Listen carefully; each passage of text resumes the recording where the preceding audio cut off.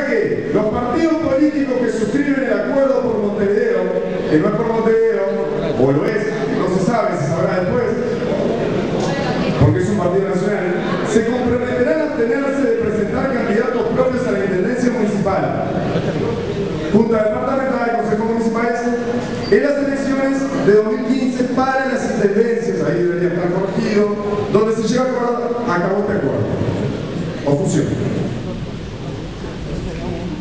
Sinceramente me parece lamentable que no se le permita a tres compañeros del Partido Colorado como máximo, a uno como mínimo, presentarse representando su propio Partido Colorado. Con el lema Partido Colorado. Me parece derrotismo total. Pero ¿qué le voy a pedir si creen que, si creen en las encuestas? ¿Creen que nos dan un 9%? Yo no creo en las encuestas, sinceramente. Estudio ciencia política, veo cómo se hace, sinceramente.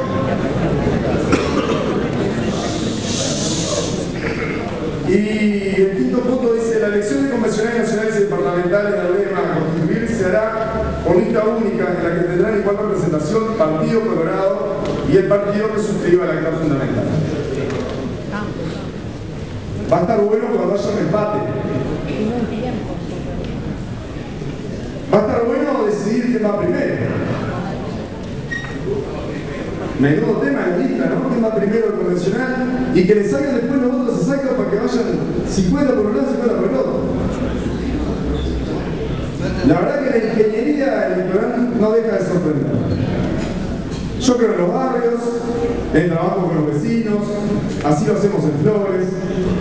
No tenemos miedo a hacer tres ediles, para nada. Hoy somos la mayor oposición al gobierno de la Fundamental de Flores y, y también, bueno, en Flores tengo que contar que en realidad el Frente Amplio vota más con el Partido Blanco que con nosotros, así que este, creo que allá somos oposición, oposición, no tenemos miedo. Y vamos a los pagarnos, no hay ningún problema.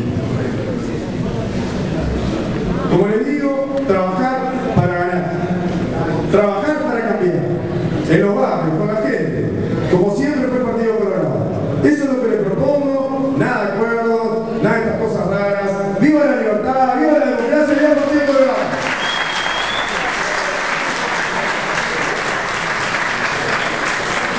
Llega para